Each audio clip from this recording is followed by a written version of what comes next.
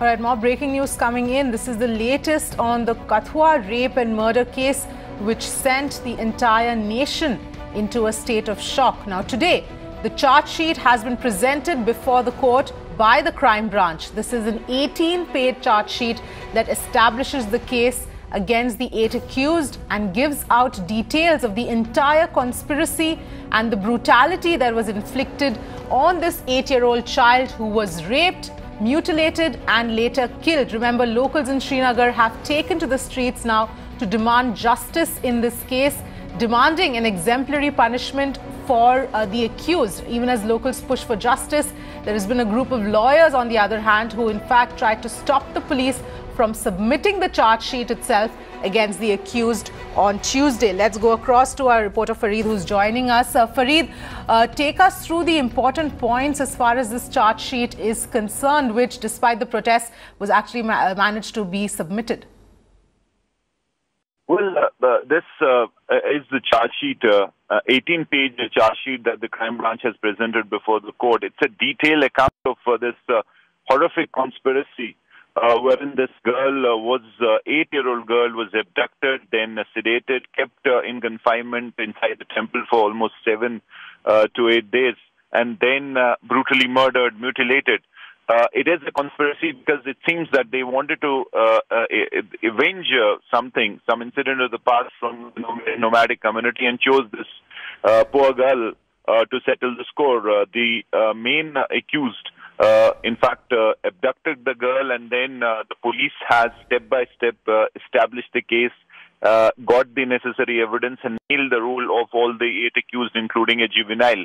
Uh, clearly, it seems that they kept her for confinement for eight days during the time she was tortured and, in fact, raped time and again, and then finally she was killed. Uh, uh, as far as the police report is concerned, asphyxia is uh, said to be the reason or cause of death, which means that she was strangulated and then finally uh, she was mutilated in her body, dumped uh, very close uh, to the place where she uh, was uh, abducted or kept uh, in confinement for all that time. So this is uh, really uh, horrific in uh, many ways. This is this probably is the rarest of uh, the rare cases, and uh, uh, the crime branch has produced the challan, the charge sheet, and uh, according to sources now. The the the crime branch has in many ways managed to establish the case, and now the people here in the Kashmir Valley and obviously uh, the same a lot in Jammu are demanding that there should be exemplary punishment because this is a case where uh, which should be seen about caste, creed, and religion, and a case which uh, demands exemplary punishment so that no one dares to do this kind of a horrific act, inhuman act, and something that has shamed humanity uh, in the future. Absolutely, Farid. Uh, so it seems like the whole thing was a completely thought out and premeditated crime here. Uh, that was heinous crime here that was really carried out by the accused.